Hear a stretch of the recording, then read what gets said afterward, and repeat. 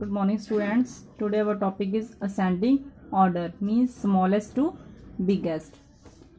First one sum find the smallest digit 8 3 9 15 which one is smallest? 3 right here 3 3 3 after 8 here comes 8 8 after 9 or 15 here comes 9 right here 9 9 after the last one digit here is 15 now second one sum 11 25 9 91 first of all we write here smallest digit. Which one is small digit? 9 here comes 9 9 after 11 11 after 25 right here 25 then 91 clear.